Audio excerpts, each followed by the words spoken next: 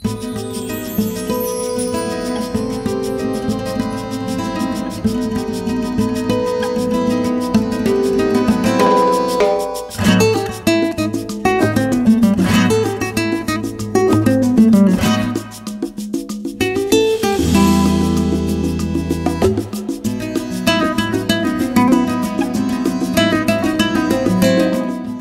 G'day, Glenn Morris here from the Smart Energy Lab, but this time I'm in Spain uh, at the Bodega Winery in the beautiful Murcia uh, province of Spain. It's a hot, dry, and massive vineyards all around. And this particular vineyard, the Bodega vineyard, put in a huge amount of Sigenergy site and store systems, augmented by huge solar arrays to offset the cost of electricity, which is actually really expensive in Spain.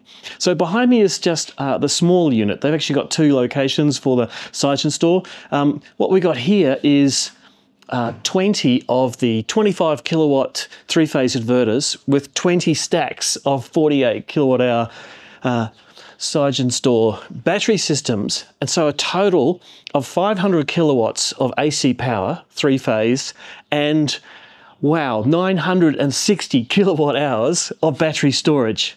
Now, the thing that really got me is the design of this. Of course, there's going to be some heat associated. It's a hot climate. And also the inverters generate a small amount of heat as well. And this room is basically completely ventilated. It's all um, zinc aluminum panels which are perforated so the air flows through. So it's actually quite a hot day today and it's just very comfortable inside this room and completely silent. These systems are all on right now, working away. Um, they're connected to a large array, uh, so many hundreds of kilowatts of solar connected. So this system, and it's a small one, along with one other which is twice the size, took a small group of installers three weeks to install. That's not just the total 60 plus SigenStor inverters, but also all of the control gear, which is actually part of the, the smarts behind this, is how they can control the use of this energy over a large site, interconnecting with high voltage in locations, and also some of the switch gear. So, um, yeah, very exciting to be here at the Bodega Winery to see what a really big SigenStor system looks like. Cool. Check it.